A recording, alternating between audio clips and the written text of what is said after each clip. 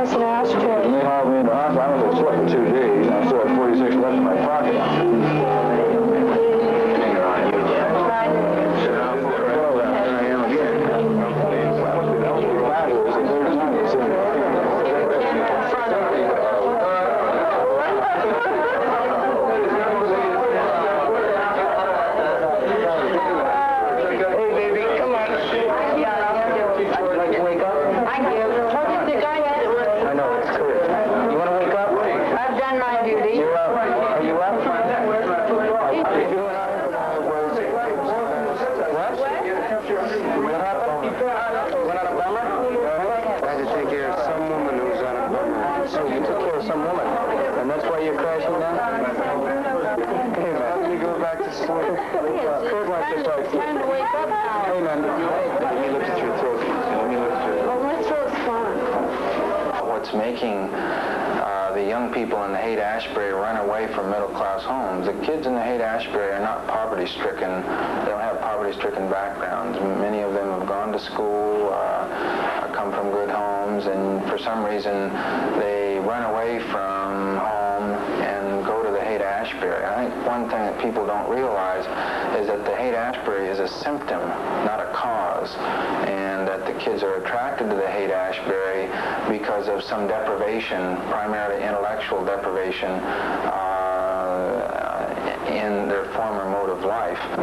And I think this is why the middle class is so intensely involved in the Haight-Ashbury because it is a product of the middle class. And it's not an anarchist movement. The hippies aren't interested in in uh, any philosophy, including communism. They just want to live their own life. Many people say that this is a communist-inspired movement.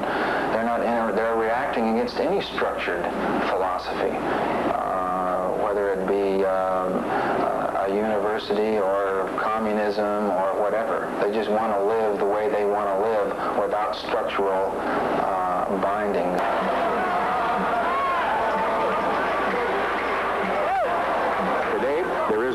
Violence, and there's a reason for this. The band called the Grateful Dead have announced they will make music in the park. The crowd moves along, provided with a place to go, something to do. The Grateful Dead are playing a tune called, appropriately enough, Dancing in the